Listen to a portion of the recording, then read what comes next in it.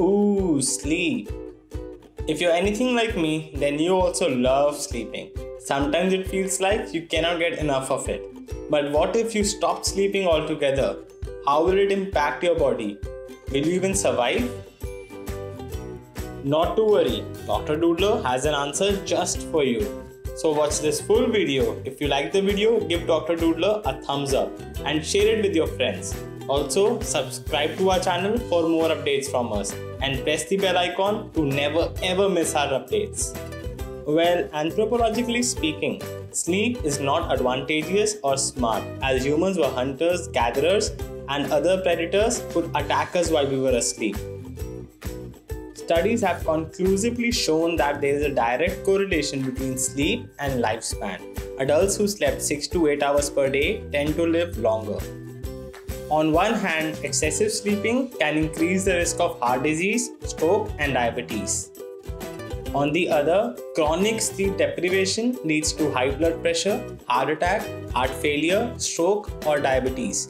Other potential problems include obesity, depression, and brain damage. But what would happen if you stop sleeping right now?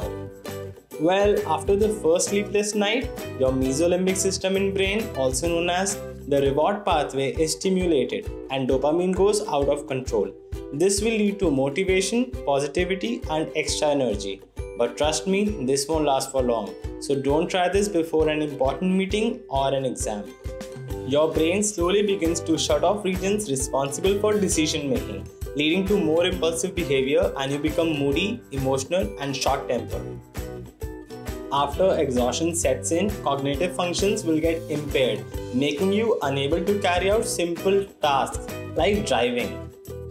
In some cases, it was seen that just after 3 days of not sleeping, test subjects started hallucinating. Sleep deprivation can change both your appetite and the types of food you crave. Studies also suggest that sleep deprivation is associated with both an increased appetite and an increased desire for junk foods, causing weight gain. And if you always want to look like an Instagram model, then it's better you up your sleep game. Studies have shown that well rested individuals looked more appealing than those who were sleep deprived.